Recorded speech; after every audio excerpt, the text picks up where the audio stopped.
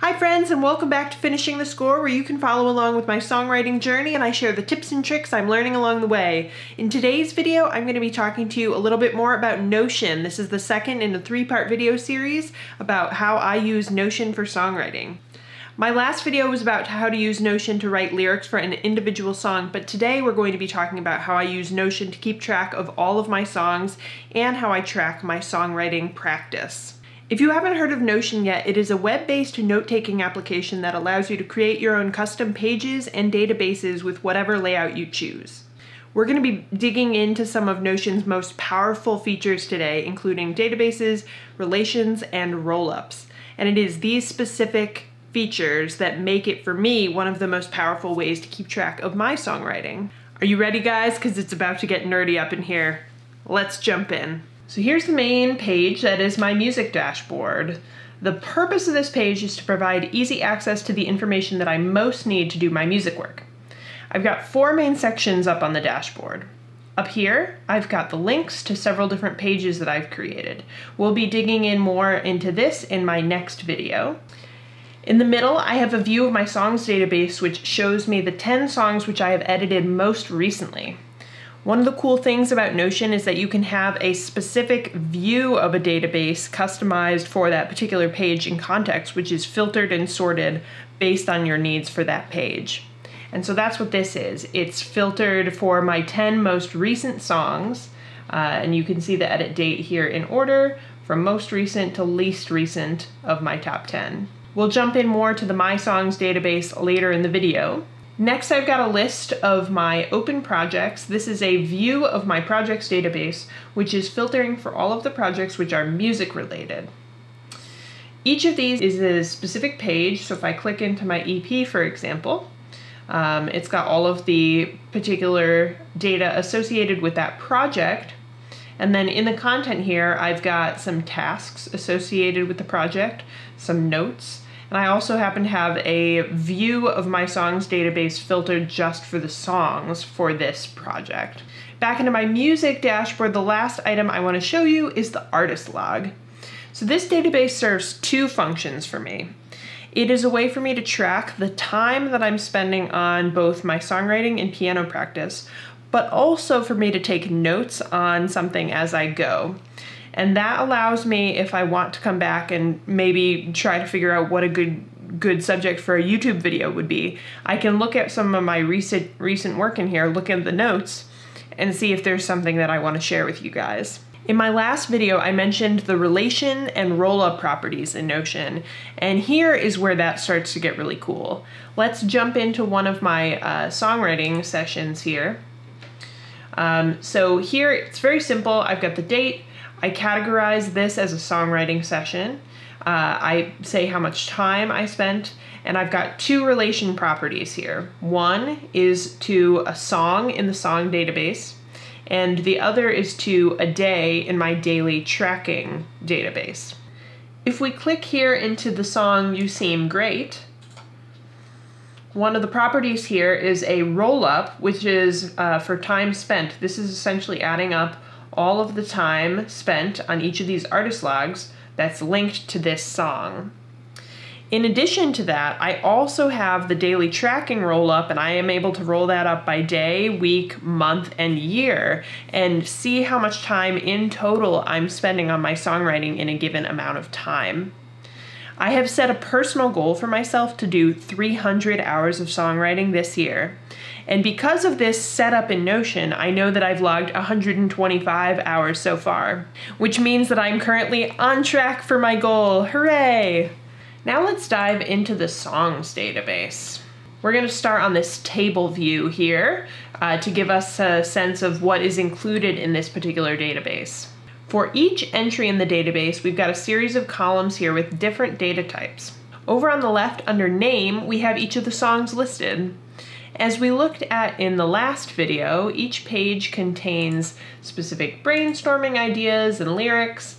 I've also got my artist log, tasks, etc. Uh, I'm not going to get into this today. If you want to know more about how I use these specific song pages, you can check out my last video. Next up, we can see that each song is linked to a specific project from my projects database. Here we have the status column, which is of primary importance to me in the song database. This is going to come in super handy when we see the board view, which we'll see in a moment. Here we have time spent. So this again is that roll up property for each of the songs. And here we have track number, and most of these songs are empty on track number, but this comes in real handy for doing sorting. So for example here, my musical Hackpunt tool has a specific order that the songs take place in in the show, and so I've included those track numbers, and that is sorting up here by track number. I have first sorting by project, then by track number. I've got updated and created dates, and then the last ones I have in here are a series of relations. So these five columns essentially link to some other support databases I have here in Notion. Uh, for example, my Spark file is the database where I keep track of things that inspire me. And so if I have found a particular song to be very inspiring to a song of mine, I will link to that Spark file entry right here etc. And not everything here needs to be filled out, but if I have data for it, I will link it. So now that you see the setup of what the data contains, let's see what Notion can really do. Along the top here, I have some different tabs associated with this database.